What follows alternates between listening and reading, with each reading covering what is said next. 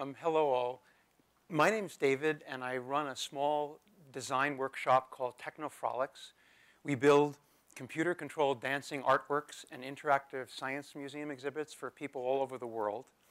And I'd like to share with you today both some of the things we make and also to discuss hidden assumptions and how hidden assumptions can dramatically shrink our world and dramatically shrink our possibilities from what otherwise might be doable. And one of the reasons hidden assumptions are particularly of interest is if you can see past them, you can see new worlds in an instant. And that's very, very exciting.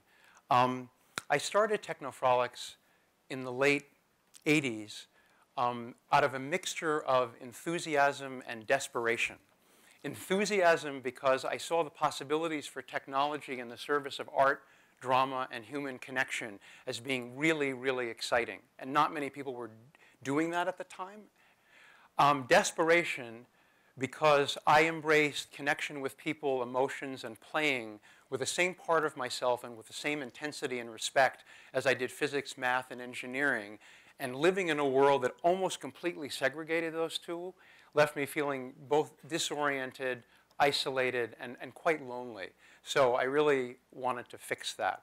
I was basically faced with a devil's choice at that point of either embracing technology but living in windowless rooms in the basement filled with expressionless white men who decided, who had relegated their body and emotions to second-class citizens, citizens, or being with people, who, including importantly women, who were emotionally sensitive, relationally focused, happy, centered in their body, but knew almost nothing about technology.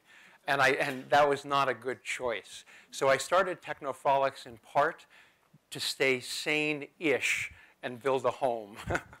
okay. Um, I'd like to show you one of the first things made um, by myself and my little team at Technofrolics. Um, it's made out of iron dust in a magnetic field choreographed to music. And I'm just going to play a short video here.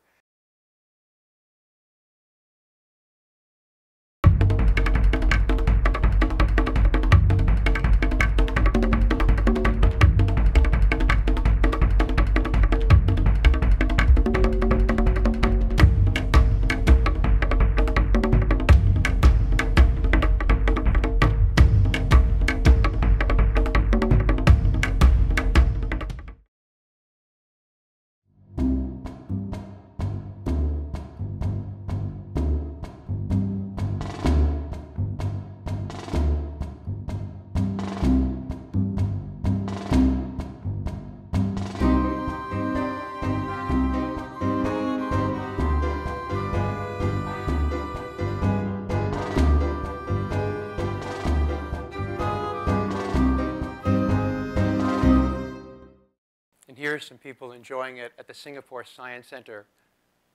And uh, here are some fabric banners. These are computer-controlled fabric elements that are also choreographed. This was at a dedication ceremony for a new MIT building a few years ago. I'm just giving you a sense of the kind of things that are made. Now, one of the um, things I'm both proud of and want to share with you because it's relevant to other parts of the talk is the fact that the iron dust, which was built 25 years ago, is still being installed in science centers worldwide and just won three Editor's Choice Blue Ribbon Awards at the New York City Maker Faire. Um, the reason I mention that is the fact that that's the case suggests that it embodies something human as opposed to being a technological gimmick because the technology has advanced so much in the last 25 years it's almost unrecognizable Yet the dancing iron dust piece has about the same response now as it always did. And the reason it came into being at all is an assumption that everyone made around the time I made it that I didn't make, which was that technology was not well suited for emotional expression, drama, and connection with people. It was suitable for, quote, practical applications, whatever that means. And I want to give a couple of examples to highlight how much that was true. I mean, and, and really how deep it was. One of them is, no matter when I showed it, and this, this I'm mostly talking about its history rather than more recently, in the middle of a crowd of people whose faces look like the people at the Singapore Science Center grandmothers, children, physicists, dancers, all completely delighted and animatedly talking, someone would say to me, Why did you make it? What's it for? Okay? And I was like, What do you mean, what's it for? Like, that was like asking, What is a smile for? I was dumbfounded. Um, but then I began to realize that people's association with technology being for emotionally sterile practical applications was so entrenched that they asked that question out of that perspective. So I started flipping the question on its head and using a different medium of expression. I said when a novelist spends months to years developing the subtle nuances of a fictional character, what's that for? Okay, at least to get people thinking about why are they making different evaluations and assumptions about technology versus any other medium of expression. The second thing that would happen all the time is that um, the motion control tools, like I wanted to animate things, so I would want to do something like show inquisitiveness followed by startled recoil. The way a dog would behave if it's sniffing at a turtle and then the turtle suddenly sticks its head out, and the dog recoils. I had golden retrievers, so I saw this kind of thing. And um, so I would try to find a way of controlling, say, motors. And you can, a motor is, you know, when you do dance choreography, a motor is fine for such a thing. It's controlling the motion. That's all choreography is. But none of the motor controllers would allow things like inquisitiveness or startled recoil. Um, they had all been designed for high-speed assembly of uh, machines things like, uh, where, sorry, where precision and speed were really the important aspects. And no one making cars cared one whit about tentative or exuberant robotic car assembly. Okay? So they were horribly difficult to use. Um, now, I'd like to um, say again that all of this ties into this idea of what are one's assumptions. And assumptions tend to shrink our world, and they shrink our world intellectually, they shrink our world in personal relationships, they shrink our world in every possible regard, and you often don't see the cage you're in. But one of the reasons it's so cool is that if you do see the cage, you can simply walk out of it. So rather than having spent 50 years working on something incrementally, you simply can see what the hidden assumption is, see where you're trapped, and simply walk past it. And that, in the same way that if you use a microscope or a telescope to look at the natural world, it changes in an instant. And it, it opens up whole new worlds, and it's beautiful on top of that. Um, all right, so let me now show you some other items we make that are related to this. So one of the assumptions people made about video, this was back in like, well, we developed this back in around 1999. Um, people made the assumption that video is a produced experience played linearly in time forward. And that's what everyone treated video as. And we decided, well, what if we don't make that assumption? What if we make the assumption that video can be played backwards or forwards at any speed whatsoever from stop frame to billions of times normal rate in non-contiguous frame sequences all over the place and most importantly, that this can be done with incredible smoothness and liquidity so that when you're exploring natural phenomena, you, get a, you don't lose the kinetic dynamics of the phenomena. In fact, I'm very sorry I don't have Gary's toads, uh, but you'll see why in a moment, but we do have other things. So let me um, just first of all show you the environment in general. Um, and this is something we make. Most of the work is in the software, but we do build these things. They're called the FrameGlide Spin Browser Video Explorer. Okay, so this allows moving through video footage at absolutely any speed with no distortion whatsoever. So you can go backwards and forwards and explore phenomena, normal frame rates, high speed, and at any rate of your choosing. So it puts the magic of time lapse and high speed video into the user's control. This, by the way, is milk on a vibration table that we filmed in the studio, and it's pretty wild, huh? It's really beautiful. Anyway, and similarly with time-lapse, let me just quickly show you a time-lapse piece and then I'll move on here. So just as we were showing high-speed video there, you can equally well explore backwards and forwards in time with time lapse. And you'll notice there's no temporal stutter, no pixelation. And we have these in hundreds of museums around the world with content ranging from birds in flight to enormous tours across diverse landscapes to colonoscopies, which I didn't bring to spare you. Uh, one of the more popular exhibits in Canada is on, because they have agricultural areas. We work with the Ontario Science Centers on cows, and they have cows pooping, and the kids running that backwards, okay, is uh, one of the more popular things.